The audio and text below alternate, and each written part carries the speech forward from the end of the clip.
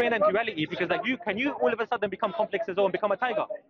Well, no. But, but Come on, think about it. Think about it. Come on. May- It could be cool, but we, it's not realistic. So the same thing when it comes to a fish to become a human being, it's not realistic. But the thing is that all of us are in agreement that it makes more sense for a creator that created us with knowledge, with will, with power. It also makes sense for you, from your perspective, is that God has given prophets to convey the revelations. Otherwise, look, that's going to be an excuse for us then. Like we was left misguided. I don't believe if a justful God existed, I wouldn't believe that He came to us. He didn't give us any guidance. That wouldn't be fair. Then you would be lost. You would be lost. I would be lost. Without religion, everyone would be lost. So that's why it makes more sense. What do you guys know about Islam? Like what do you know about the Quran and the Prophet Muhammad? my entire notion of Islam was being fed. Yeah. But now today that's changed, right? Yeah.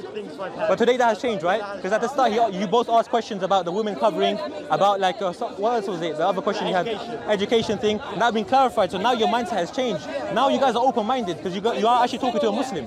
So I mean, I mean I'll, I'll be honest with you. Like, Yeah. I, I agree with a lot of your like. Yeah. I, I still don't agree with some bits, but like, that's fine. It, it makes a lot. the foundations make sense, yeah. Foundations So, make sense. so, so what's stopping you from becoming a Muslim right now? If the foundation makes sense to you, if the most important thing, which is the concept of one God, and we worship Him without any partners. You know, Christians they worship Jesus, right? We don't believe, yeah, we don't believe a, a man, a man that used to eat food. And if a man eats food, then by default, the scholars, the Salaf used to say he defecates. We don't believe an individual human can be perfect, but at the same time be imperfect. That doesn't make logical sense. Either you're God, either you're human. That's why in Islam we believe in the concept of Tawheed. We worship that one God without any partners. He's, the, he's self-sufficient, he's the most knowledgeable, he's the most wise, and he has no father, he has no son. And this is what us Muslims believe. And that's the foundations that I've been talking to you, and you guys believe in it as well. That concept of God makes sense than any other religion, right? Exactly. So and then about the Prophet Muhammad. What do you guys know about the Prophet Muhammad? Peace be upon him. Uh, I don't think you're meant to say like peace be upon him. Of course, we're all the prophets as well. Even Jesus. He was sent down from God. Also, yeah, he was um, blessed by God to write the Quran. You know, basically, the, Allah, the Quran is Allah's speech. Yeah, is, is, is, is his attributes. But the thing is, he, it was revealed to the Prophet Muhammad to convey to the people. Like, for example, alcohol. You know, back then, uh, 1400 years ago, they used to bury their own daughters. They used to say that's dishonorable to have a daughter. 1400 years ago, it was very normal. The Prophet Muhammad came to prohib- prohibit this. Allah has given revelations. The, Allah said, do not drink uh, alcohol. Allah says, do not go to gambling. Because these are the destroyers of society, not just 1400 years ago, but now. But don't you guys think this is a miracle, yeah? 1400 years ago, the solution to all of the problems that we're having right now was already mentioned. So don't drink alcohol. Don't go ahead with gambling. Don't do sexual fornication because fatherless households, more crimes. You know, um, no- prayer, lack of God. All these problems that we see that. That's why we see individuals like Andrew Tate. Why did he become so famous? Because many of his views were traditional values that aligned with Islam. Not all, but I'm saying a lot of them were. That's why he decided to become Muslim because he's seen feminism. He's seen the, the nonsense that liberalism has spread it to us, that has enforced our children to force a certain ideology. But once you have traditional values, you have some principles. Thing is, eh, people say that, oh, we have to be tolerant. If you're tolerant for everything, you stand for nothing.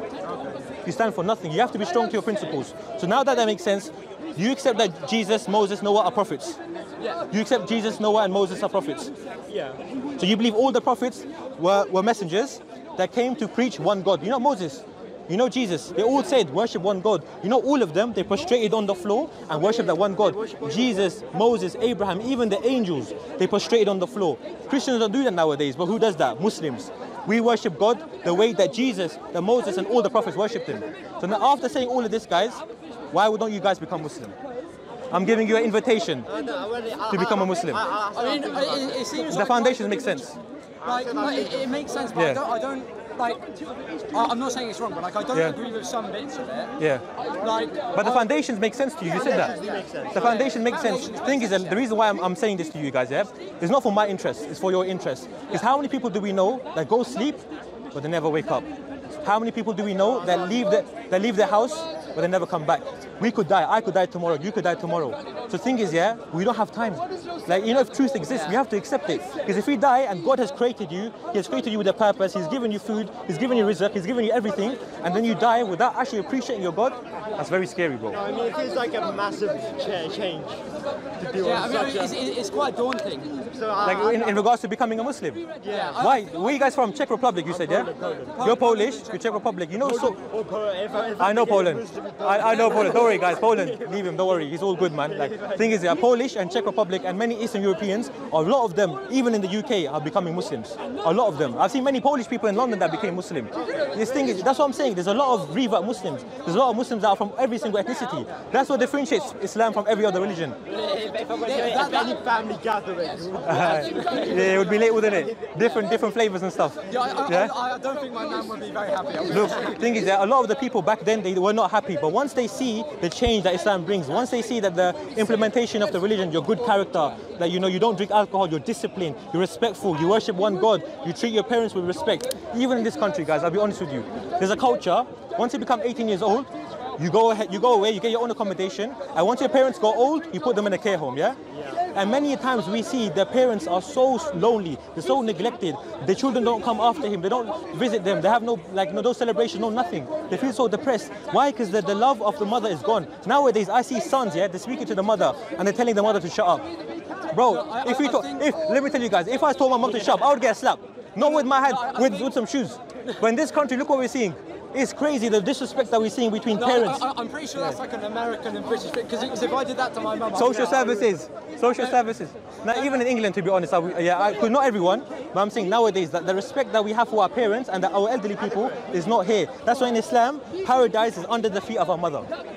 I, I, I'm not going to waffle a lot, Yeah, but if yeah. that, that happened to my to my nan and she drop kicked one of my mum's cousins out the window, then I- No, no, no. it's- Yeah, it's over, Yeah, it's no- over. no yeah. way, no way. Not everyone, not everyone. Of course, you're like Eastern European as well, it's a bit more harsher. Like, you know, Eastern Europe, like even in Romania, for example, they actually have some decent traditional values. Like, even though like they're not fully Christian, they have traditional values. But the thing is, they stand for everything. Like for example, there's like a great priest and he's promoting LGBT. If you're a Christian and you believe that homosexuality is wrong, how comes you're going to the public and promoting the same thing? It makes you a hypocrite. That's why when it comes to Muslims, if murder is wrong 1400 years ago, it will always be wrong. If rape is wrong 1400 years ago, it will always be rape. For example, atheists, yeah, they have no morality. They think that, for example, right now it's normal to, you know, have like same gender relationships, but 1000 or 100 years from now, they will normalize incest, brother and sister. With contraception, they will normalize it. That's what I'm saying. When you have no morals, when you have no religion, You're a when you, bit behind because incest is legal across the English Channel. well, there we go. It's already started. It's already started. Since the time of Napoleon, mean, you're that- a bit that's- No, no, no, no, no, no, no, no. It's not normalized publicly. There's a, No, there's a no. very, very uh, extremist societies where that's legal. Yeah.